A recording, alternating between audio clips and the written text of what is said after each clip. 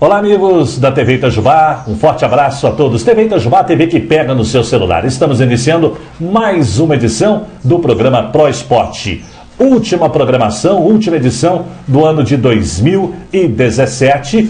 E claro, esperamos aí que 2018 possamos ter muitas notícias agradáveis, muitas atividades esportivas. 2018 promete o esporte em Itajubá, principalmente o futebol. Nós vamos aproveitar e fazer um balanço do que foi o ano de 2017. Fernando Araújo, boa semana para você, bem-vindo, tudo bem? Boa semana, Marcos, boa semana para todos, tudo bem, graças a Deus. Vamos aí fazer um balanço né, daquilo que aconteceu no esporte em Itajubá em 2017. Com certeza. É, nós temos aí já uma informação que 2018 parece que deverá começar com, já com uma boa notícia para o futebol em Itajubá, devido a um projeto que deverá chegar na, nas dependências do Fabril Atlético Futebol Clube. Para quem não sabe, o Fabril né, é o clube aí do, da Imbel, um clube que atualmente não tem disputado nenhuma, nenhum tipo de campeonato, mas tem uma baita de uma estrutura e parece que essa estrutura vai, vai voltar a funcionar. Fernando Araújo, o que você, que você tem para passar para a gente a respeito dessa escolinha que está chegando aí em janeiro, fevereiro?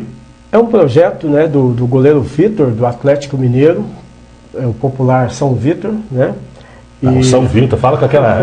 é, goleiro, goleiro do meu time, né? Goleiro do Galo. É tranquilo. Isso. É um projeto muito interessante, hum. onde existe uma, uma coordenação. Esse projeto, a princípio, tem em Belo Horizonte, Jundiaí e, se eu não me engano, Itajubá está sendo a terceira cidade a ser implantado esse projeto, que chama Projeto Muralha da Esperança, do goleiro Vitor.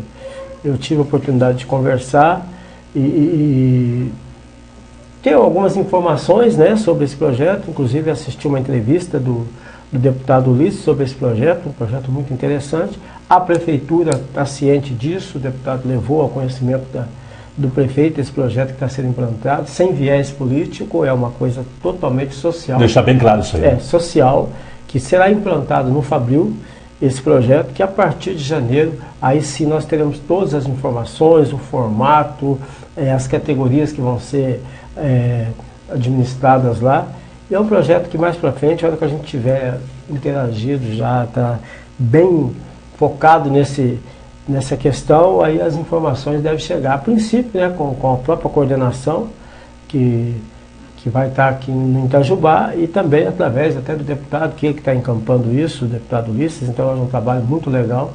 E a gente espera que ajude também na revitalização do próprio Fabio. Né? O Fabio é uma área espetacular, é uma praça de esportes muito bacana, que pode ser muito bem aproveitada, e a gente espera aí que esse projeto tenha sucesso que esse projeto também possa fazer com que o Fabril de, resolva voltar às atividades, às atividades esportivas. Não, ouvi uma entrevista do deputado Ulisses, juntamente com uma outra pessoa, que, deve, que é o diretor deste projeto. É, então, basicamente, seria uma escolinha de futebol, né? uma escolinha no período da manhã, uma escolinha no período da tarde, um acompanhamento social, né? É sempre vendo também esse lado social, lado familiar da criança, e com o objetivo de fazer com que a criança tem aquele, aquela aptidão, possa desenvolver uma atividade esportiva, em específico o futebol, né? Sim, na verdade, é, a questão da, do garoto ser ou não atleta é, uma, é um segundo momento. Né? O primeiro momento é a sociabilidade, o primeiro momento é a questão da, da, da, da, da integração, da inclusão dessa criança né, dentro da sociedade, com um viés totalmente educacional, pelo que eu entendi tá? uhum. totalmente educacional. Aí sim, se houver algum é, destaque, será olhado diferente. Existe uma coordenação, o Erasmo é o coordenador geral desse projeto, né, que trabalha com, diretamente com o goleiro Vitor. E o objetivo principal é a, a formação de pessoas, de cidadão. Se porventura houver algum garoto que tiver aptidão, que tiver condição, aí sim será olhado de outra forma, aí o treinamento será diferenciado, aí é aquela questão de preparar o garoto para a atividade do futebol profissional, o que não é fácil. Né? Nós já fizemos algumas vezes aqui, porque ser atleta profissional não é fácil. Às vezes as pessoas veem na televisão um atleta em alto nível, oh, aquele cara ganha bem, aquele cara deu sorte na vida. Não é assim trabalhou demais e teve uma grande determinação para alcançar aquilo que ele alcançou. E dentro do futebol é mais ainda, porque o futebol, a concorrência é muito grande. Todo mundo se joga futebol. né? do Iapoca ao Chuíço e joga bola. Então você tem que estar determinado a querer fazer uma carreira profissional. E nesse caso, nesse projeto, é a função principal é a sociabilidade. Essa sociabilidade, por exemplo, o menino é, é bom de bola, acompanha é, ou tem um futebol razoável, mas acompanha, é frequente na escolinha, mas não tem um bom rendimento escolar. Isso aí também, eles acompanham isso aí, né? Porque a criança ela tem que ter um bom rendimento escolar, é, também tem que ter um bom relacionamento com os seus pais. Às vezes, infelizmente, você tem problemas dentro de casa, né? Isso aí também. Mas às vezes, é, enfim, todo esse trabalho toda essa, a vida da criança em casa, a vida na escola, tudo isso é levado também para esse lado, né? Com certeza, e mesmo porque a gente sabe que dentro do meio do futebol, poucos atletas eles levam a, a, a, parte educacional para frente. Né? Ele, ele, tem que parar de estudar porque ele viaja muito, ele concentra, constantemente ele está viajando, ele não tem tempo para estudar. Então, nesse primeiro momento, a base é muito importante, né? Que ele tenha um acompanhamento escolar, para que lá na frente ele consiga ter uma, uma condição, se caso ele der certo, né, se ele nem der certo como jogador, mas como cidadão ele tem uma base muito boa. A gente sabe que no meio do futebol, principalmente, os jogadores, eles são poucos aqueles que fazem é, uma, uma, faculdade, são poucos aqueles que têm um nível superior é, mais elevado. Por quê? Justamente por causa dessas questões. Normalmente, eles fazem essa formação após encerrar a carreira. Né? E aí, de repente, uns conseguem. Né? Hoje nós tivemos a notícia da aposentadoria do Kaká. Mas ele vem se preparando há muitos anos para isso. É um jogador diferenciado, diferenciado não né? só no futebol, como também na cabeça. É, e teve hoje eu ouvi até um comentário de um, de um jornalista falando justamente sobre isso. É, você nunca viu o Kaká gritando com alguém. É, raramente tá, o Kaká tomava cartão amarelo, cartão vermelho. Dizem que é um cara muito humilde, né? E muito correto dentro do campo. Então, assim, isso aí vai de formação. Né? A, boa, forma, a boa base que ele teve dentro do próprio São Paulo, a base familiar, que eu acho que é a mais importante de todas. E esse trabalho vem para ajudar na formação do cidadão itajubense. Eu acho que é um projeto muito bacana. Então tá aí, gente. A partir do final de janeiro, começo de fevereiro, teremos essa escolinha funcionando na, lá no, no, nas dependências do Fabril Atlético Futebol Clube, lá no bairro da Embel. Que esse projeto é, possa é, alcançar é, uma, de uma maneira positiva muitos frutos aqui para Itajubá, para toda a região, e jogar, novos jogadores possam surgir também a formação de novos cidadãos. Parabéns a todos os envolvidos no projeto e o deputado Ulisses está convidado a vir na nossa programação, a vir aqui à TV Itajubá, ainda mais agora, recesso de fim de ano, né, deputado? Pode vir para cá para explicar para a gente melhor a respeito deste projeto aí, o projeto do goleiro Vitor Muralhas da Muralhas, Muralha, né? Muralha da, Muralha da Esperança, do goleiro Vitor, campeão da Libertadores pelo Atlético Mineiro e até hoje está lá defendendo as cores inclusive do Atlético, inclusive de contrato renovado, né? Sim, é um grande profissional, né? Independente do que a campanha pífia que o Atlético fez durante o Campeonato Brasileiro, mas ele foi um dos menos responsáveis por isso.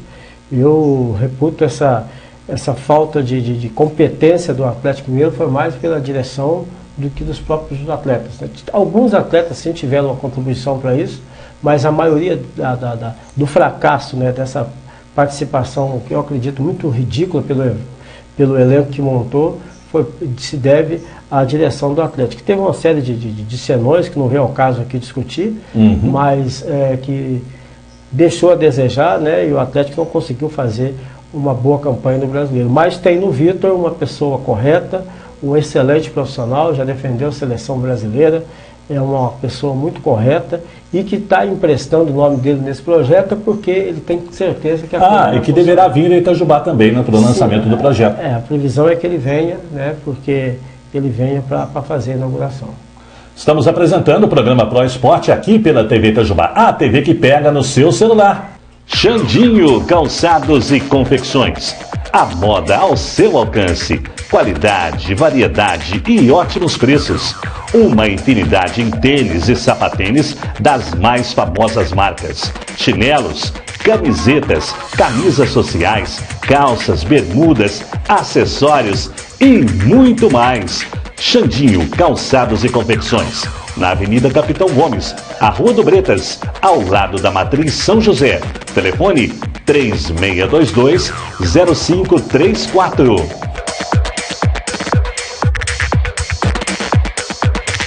Tudo bem, meus amigos? De volta aí com o programa Pro Esporte, última programação do ano 2017. 2018 vamos trazer muitos convidados por aqui, vamos falar muita coisa a respeito do futebol, o futebol e o esporte de Itajubá e cidades da região. Nossa proposta é essa, né, Fernando Araújo? Fernando Araújo, como é que foi? Vamos fazer um balanço do que foi 2017 em Itajubá, não só no futebol, como também no esporte especializado, no próprio futsal. Tivemos muitas corridas, é, enfim, que, que a gente que balanço podemos fazer aí a respeito deste ano de 2017 aqui na nossa cidade?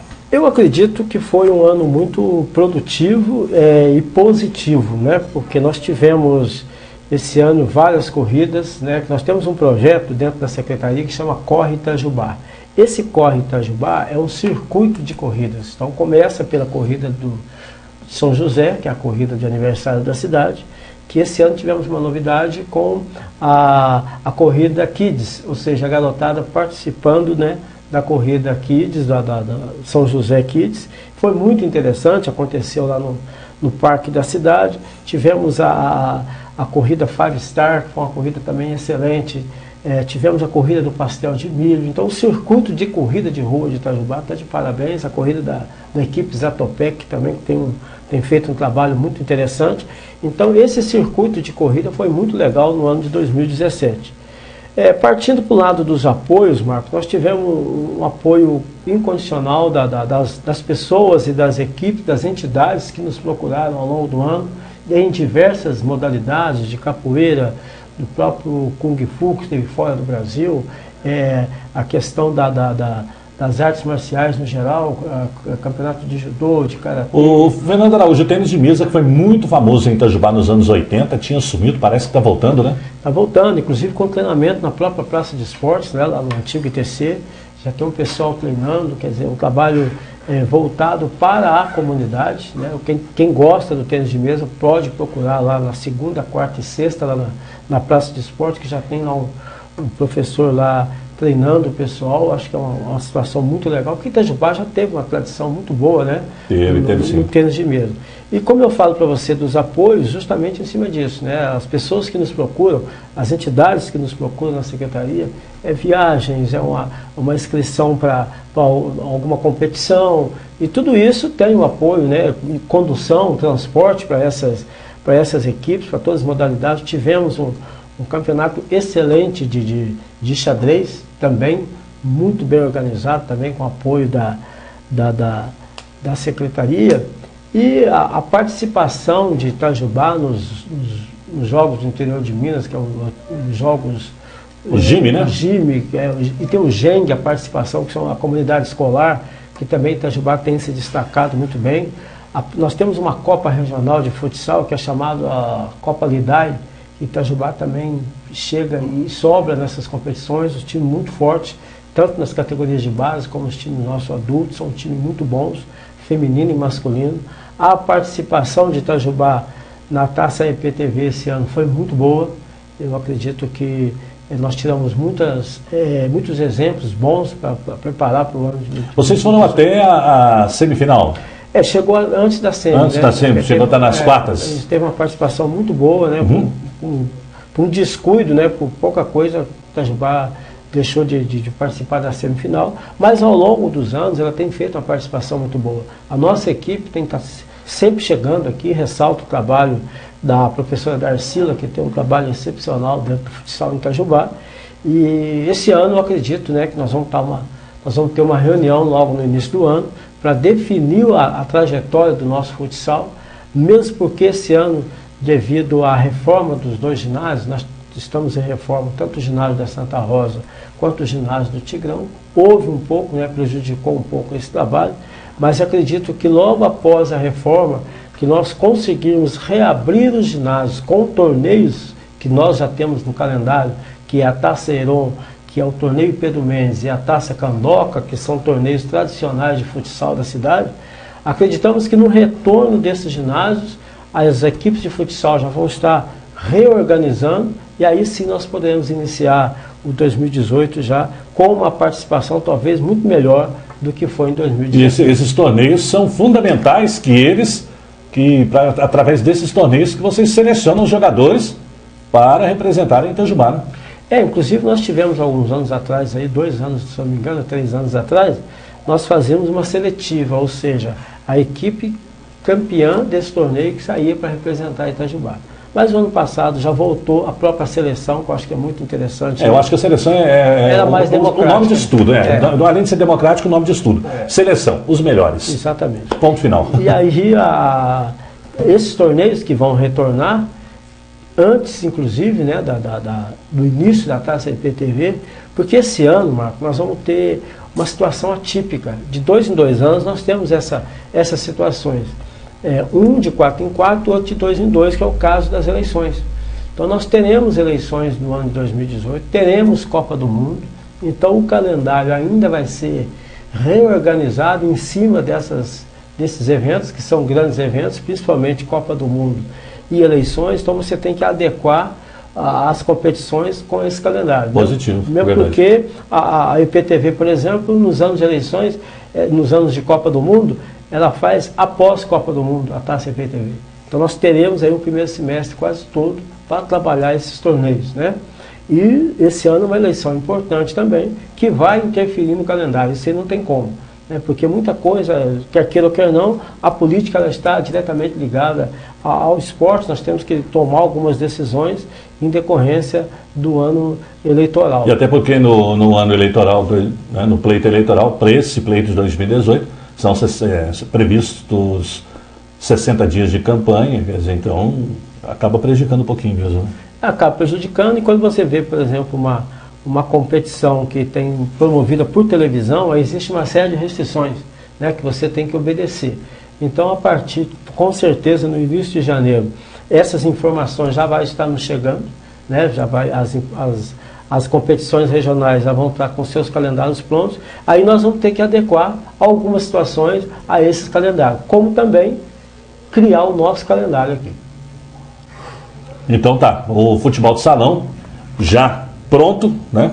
Pelo menos para esse próximo ano aí, através de reuniões, através desses campeonatos e também aí do, do de um campeonato regional que é a, a Coqueluche, né? Que todos querem ganhar esse campeonato regional aí, que é organizado pela EPTV. Tem também a Alterosa, esse ano né, não pôde participar, mas é previsão também, né? Também, é previsão de participar da reunião para ver, para avaliar a possibilidade ou não, né? A participação de Itajubá é muito importante. Itajubá é um polo esportivo, é um polo industrial, é um polo tecnológico, é um, é, é um polo é, estudantil, é universitário. Itajubá é uma cidade que ela não pode ficar de fora das grandes competições regionais, né? Não tem como. Mesmo porque nós temos material humano muito bom para isso, né? E a ideia é que a gente já, com, nós estamos já com um calendário pré-estabelecido e que a partir de janeiro, então, a gente já começa a divulgar isso. E lembrando que assim que os nossos ginásios estiverem é, já prontos as reformas, estaremos então reabrindo aí os torneios tradicionais do município. Estamos apresentando pela TV Itajubá o programa Pro Esporte. TV Itajubá, a TV que pega no seu celular. Agora em Itajubá, Pizzaria do Gordo Delivery, com aquele sabor das melhores pizzas de São Paulo. Aberta de terça a domingo até a meia-noite, com mais de 40 tipos de pizzas, além de deliciosas panquecas. A Pizzaria do Gordo tem uma promoção especial todas as terças. Na compra de uma pizza grande, você ganha um Guaraná 2 litros, todas as terças-feiras. Pizzaria do Gordo Delivery. Disque Pizza 3622-0541. WhatsApp 99723 3086. Pizzaria do Gordo Delivery.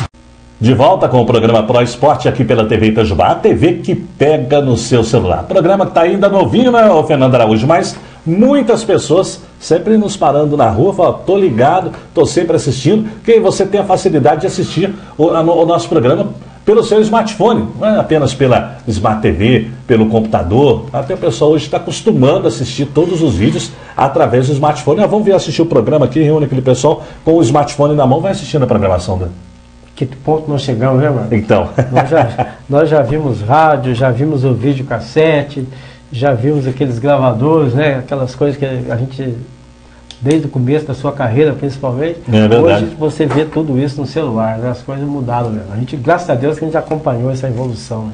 É verdade, rapaz. Então, agora você tem a oportunidade de assistir os nossos comentários. Vamos aí passar melhores momentos de jogos no ano que vem. Mas agora, já que vamos, estamos falando de futebol, vamos fazer um resumo do que foi o futebol em 2017 aqui na nossa cidade. É, nós tivemos a grande novidade esse ano, né? Foi a Copa Regional, que agregou aí mais de. foram 79 equipes, acho que é um número considerável é, de todas as categorias, do sub-9 até o veterano de 50. Eu acho que foi uma, uma Copa muito legal. Eu conversando com as pessoas, as pessoas que participaram, eu gosto sempre de estar tendo esse feedback para você melhorar em algumas situações. E a gente ouve né, das pessoas, oh, isso pode ser melhorado, aquilo, aquilo que foi feito foi muito bacana, vamos manter dessa forma. Então, assim, a gente te, teve um feedback muito legal da Copa Regional. Né? E aqui a gente vai é, resumir os campeões, né? Porque na categoria sub-9 o Atlético foi um grande campeão, foi um jogo maravilhoso que eu já comentei aqui. Parabéns ao pessoal do Atlético. E o Huracan que foi a grande surpresa, ou seja, surpresa não, porque a gente já está no, no, meio há bastante tempo, sabe que o, que o Huracan tem um trabalho muito sério na categoria de base. Ele venceu do sub-11, sub-13, sub-15 e sub-17. Então ele foi campeão dessas categorias de base. Quer dizer, um trabalho muito legal e que eu até comentei com o presidente do Iracan, a possibilidade já de o ano que vem estar com o sub-20. Mesmo que ele não entre no amador, mas com o sub-20 para aproveitar esses meninos que foram campeões do sub-17, que alguns estouram a idade, né? Aí não tem como jogar e, acabou, e acabam procurando outras equipes, né? Exatamente, acaba o trabalho sendo interrompido. E no sub-20, né, grande, o grande campeão foi a equipe de Santa Luzia, uma equipe também muito forte, muito boa, é, no Amador, nós tivemos que dividir em duas séries, como todo mundo já sabe. Nós tivemos 26 equipes na categoria Amador, com duas, duas séries, né? Série Ouro e Série Prata, onde na Série Prata o grande campeão foi o Ano Bom, e na Série Ouro o campeão foi o Hack, e o veterano o Timico que levou né, o, o, título de campeão. O Timico entrando pela primeira vez no veterano de 50 e já conquistando o título.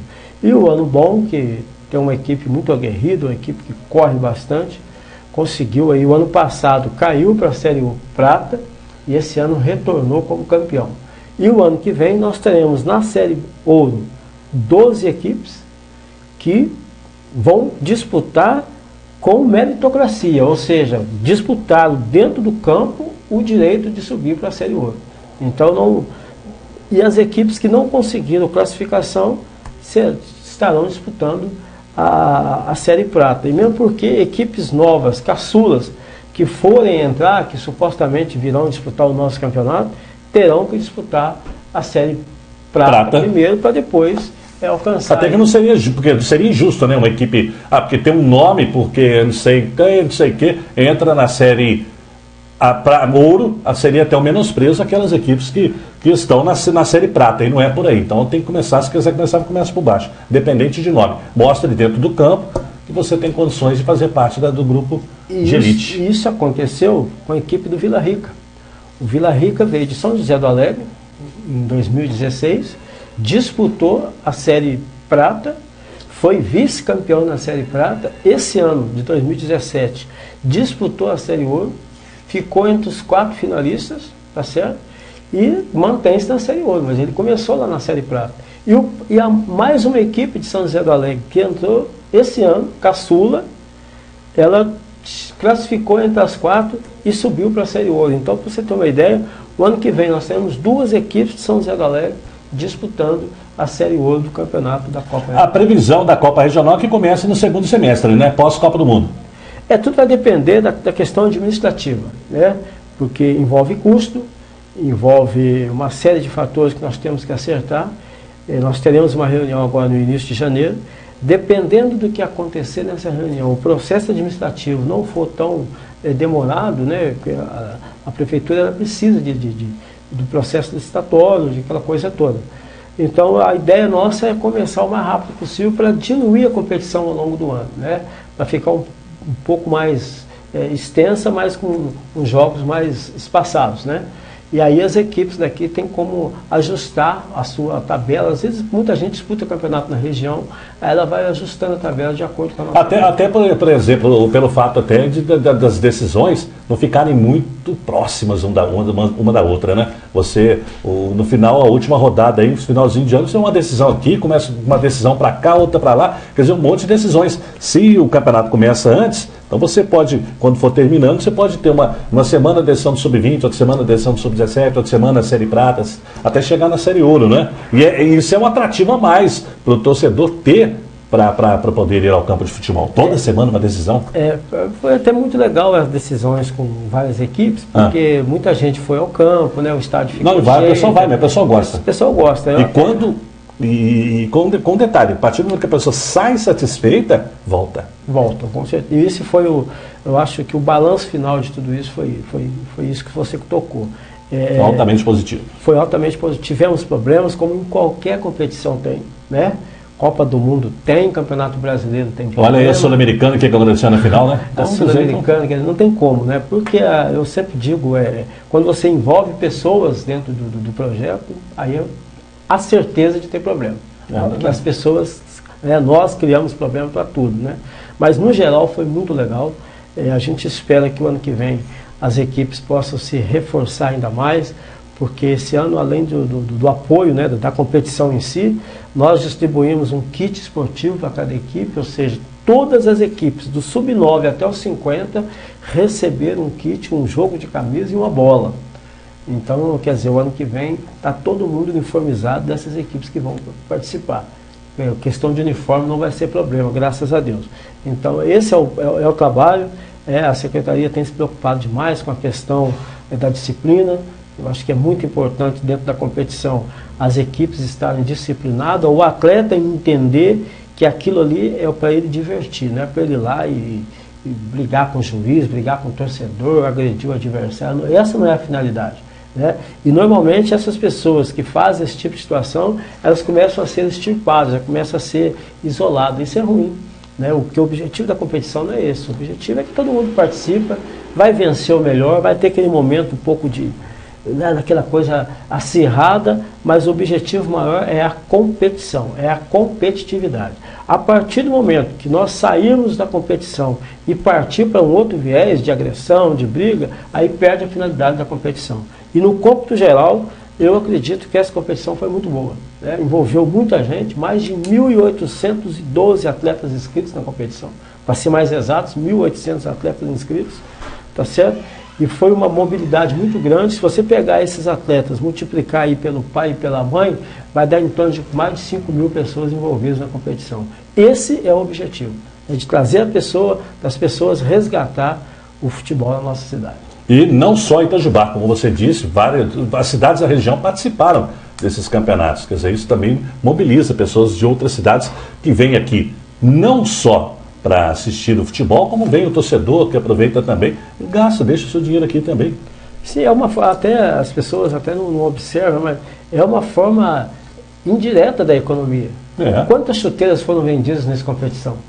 Hum, com certeza. Tá certo? Uhum. Quantas caneleiras foram vendidas? Quantos uniformes foram feitos aí nas confecções Exatamente. de Itajubá, né? Não vamos é. citar nomes, mas muitas empresas aí têm os seus vendedores e oferecem seus produtos. Movimenta, sim, Movimenta. claro. As equipes todas antes da competição compraram a bola. Né? Cada um, as equipes se, se, se prepararam. Né? A pessoa vai fazer uma, uma, uma bolsa de massagem para levar para o campo, ela vai na farmácia e compra Tem que comprar o kit. Então ela, existe uma, uma uma forma indireta de, de, movimentação de economia que as pessoas têm que entender. Outra, vai lá para o campo, existe o consumo lá no campo, né? Exatamente. Nos campos que foram, que aconteceram as competições. Então é, é uma rotatividade econômica que às vezes é, não se percebe, mas que é importante. Gira, né? tudo gira. Tudo gira. Né? Não, é, qualquer atividade que você faça, no teatro, no, no parque, no campo de futebol, nas, nas quadras, existe uma, um giro dessa, desse, dessa economia. Um exemplo, você... um exemplo claro que eu vou passar para você aqui. Nós vamos ter agora em janeiro, primeira rodada do Campeonato Mineiro, a visita do Atlético Mineiro aqui na região, a Varginha. Então, um Atlético Mineiro em boa. Então o Boa, eu morava em Varginha, acompanhei o Boa, quando eu via o Boa chegando, falaram um monte de bobagens mas eu falava para todo mundo, o povo vai movimentar Varginha no âmbito político, no, principalmente na, que, é, na questão turística. O dinheiro para entrar em Varginha, você não imagina. Hotéis. Quando você imagina, primeira rodada, Atlético e Boa. Vai ser um jogo para, em que todo torcedor atleticano da, do sul de Minas, Itajubá, Pouso Alegre, principalmente aquelas cidades próximas, Pouso Alegre, Três Corações, é, Três Pontas, Varginha, onde a torcida do Atlético é grande, quer dizer, os caras, as pessoas vão querer assistir o jogo. Pessoas que não são de Varginha vão encher os hotéis e bares e por aí vai. Movimenta a economia, Fernando Araújo. É, nós tivemos o exemplo né, da, da, da, própria Copa do Mundo no Brasil. Né? Houve uma, uma, uma, uma movimentação nas cidades onde que tinham jogos, independente da seleção brasileira jogar, era movimentado. A pena maior foi essas questões dos desvios, né? dessas, desses desvios de conduta de algumas pessoas que fizeram é, esse legado da Copa ir um pouco por água abaixo. Né? Mas em termos de, de, de, de, de turismo, em termos de economia, foi muito bom. Quem esteve trabalhando na Copa, quem trabalhou para a Copa do Mundo, teve um retorno muito bom. Né? Isso movimenta mesmo. O esporte é uma coisa que não tem como. Né? Nós teremos agora a própria. A Rússia está se transformando com um ano de antecedência, né? Por quê? Porque vai ter lá um grande é, evento esportivo e com certeza qualquer movimento que entra, qualquer giro é importante, principalmente para nós, cidade pequena, assim, né, de porte médio, que a, a movimenta bastante a economia. Fernando, esquecemos mais alguma coisa, meu amigo? Não, só não podemos deixar de dizer, ah. né, de desejar a todos os nossos web espectadores, né, um Feliz Natal. É isso aí, Fernando Araújo. Feliz Natal para você também. Muito obrigado pela sua presença, muito obrigado por participar aí da nossa programação e parabéns pelo seu trabalho frente à CEMEL, organizando os campeonatos, não só os campeonatos de futebol, como também as outras modalidades esportivas. 2018 contamos com você por aqui também para nos auxiliar, para que possamos fazer esse programa de uma maneira é, em que o torcedor, em que o, que o despotista possa realmente ficar atualizado sobre tudo o que acontece em Itajubá e cidades da microrregião. Este foi o nosso último programa Pro Esporte do ano 2017. No ano que vem, muitas novidades, muitos convidados por aqui. A todos vocês que estão nos acompanhando, boas festas, próspero 2018. E já nos primeiros dias de janeiro teremos aí aquela nova programação Pro Esporte com convidados e, e sempre levando o futebol, o esporte de Itajubá e cidades da região. Amigos, um abraço a todos. TV Itajubá, a TV que pega no seu celular.